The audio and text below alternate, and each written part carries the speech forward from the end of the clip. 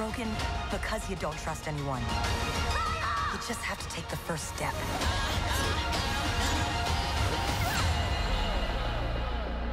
Raya and the Last Dragon is the new Disney animation movie. It's not Disney Pixar, it's Disney Animation, so the creators of Zootopia, Moana, Frozen, they made this movie. In a realm known as Kumandra, a reimagined Earth inhabited by an ancient civilization, a warrior named Raya is determined to find the last dragon. I love when Disney has new animated films come out that isn't just Pixar. For the most part, they do a great job. I actually wanted to see this in theaters, but I didn't have enough time, so I watched it at my apartment. And I honestly wish I saw this in theaters because this is a gorgeous looking movie. That's the first compliment I need to say about this film. This film looks incredible. For Disney animations that isn't Disney Pixar, this is the best looking film they've ever made. This movie is gorgeous. It's so colorful. The landscapes and like the water and everything like that just looks so real. I mean, it blows my mind what these animators can do nowadays. I mean, it's such a talent that doesn't get enough credit. This movie looked beautiful. I also love the world and the lore in this film. It's interesting and there's a lot of it. There's a lot of history.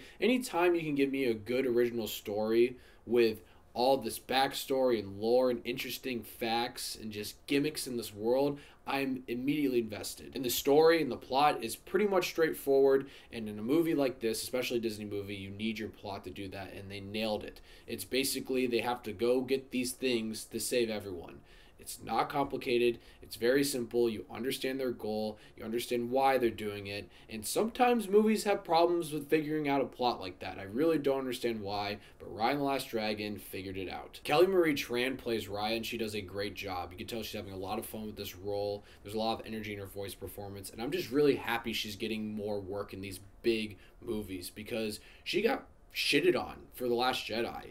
Like, I didn't think her performance was bad in Last Jedi. Her character just sucked. Like, Rose just sucked as a character. But all these crazy fucking Star Wars fans, for some reason, wanted to like cancel her and ruin her career. It's like it's not her fault. She didn't write the damn movie. So I'm happy she's getting these big roles still. Awkwafina plays a dragon, and she was a lot of fun. She brought a lot of comedy to this movie, and those two playing off each other was great. They had great chemistry. I thought she did a great job too. For the most part, this film is well paced. Right off the bat, right when this movie starts, is just a fast ride, and there's really not much downtime. And I was never really bored in this movie. I was always invested. I was always interested to learn about new things in this world, these characters, all of that. I do have a few issues with this film. I know I just talked about the pacing, how it's well done because you're never really bored in this film. But my issue with the pacing in this movie is everything happens way too quickly. This movie needed to be a little bit longer.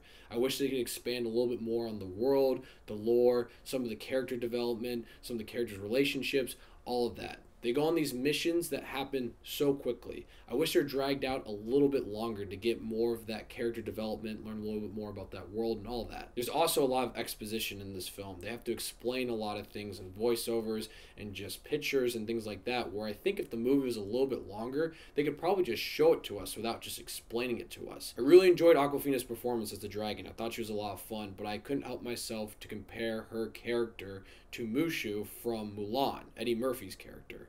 And there's going to be a lot of reviews that have that same comparison. All my friends that I just watched it with made that comparison as well. I couldn't stop thinking about that. It was kind of distracting for me. I still think she was a lot of fun and the character was a lot of fun, but it's hard not to make those comparisons. And my last issue is the message in this film. It's a good message, it's a fine message, and I think it's an important message. But the problem is, this film felt like it had to beat it over your head what the message is they had to explain it. They literally had to spell it out to you like we wouldn't understand, or maybe kids wouldn't understand it. Like we're too dumb to understand what the message is. So we're literally just gonna say it out loud like a million times.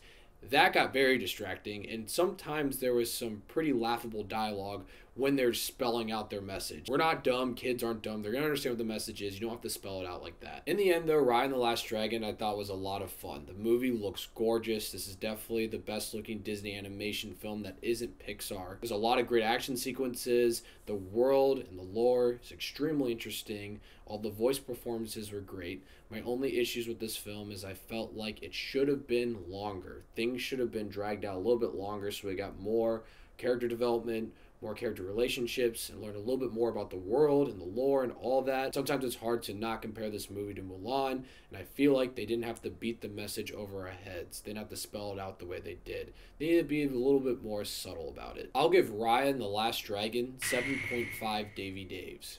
If you're a fan of the Disney animation films, definitely check it out. It was a lot of fun. I don't think it was as good as Moana or Zootopia or maybe even Tangled. I do think it's better than Frozen. Maybe that's a hot take, but better than Frozen 1 and 2.